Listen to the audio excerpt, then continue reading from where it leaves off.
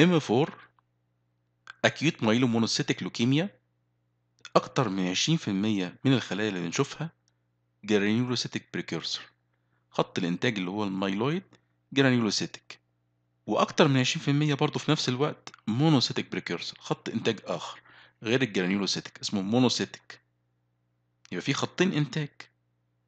يبقى أنا لو عملت ال cytochemistry اللي اسمها double esterase هلاقي ال cytochemistry positive double esterase positive لو شفنا الشريحة اللي هي رقم واحد هتوضح لي إن في double فعلا esterase positive في حاجات واخدة اللون الأزرق وحاجات واخدة اللون الأحمر. الحاجات اللي واخدة اللون الأزرق بنقول عليها chloroacetate esterase stain. blue neutrophil blue positive دي صبغة ال granulocytic بينما الحاجات اللي واخدة اللون الأحمر بنقول عليها non specific esterase stain ال monocytes بال red brown ركز معايا قوي في الصورة. هتلاقي فعلا في لون أزرق وفي لون أحمر.